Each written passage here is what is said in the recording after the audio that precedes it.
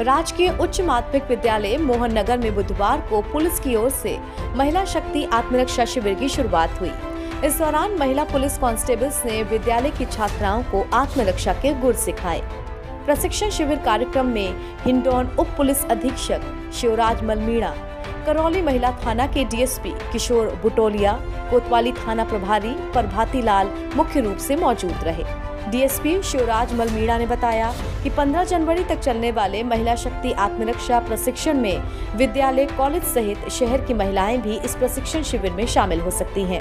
प्रशिक्षण शिविर का मुख्य उद्देश्य छात्राओं व महिलाओं में आत्मविश्वास व साहस पैदा करना है, जिससे वो अपने ऊपर होने वाले अत्याचार व छेड़छाड़ का साहस के साथ विरोध कर सकें। हिंडौन सिटी से टीम एन भारत।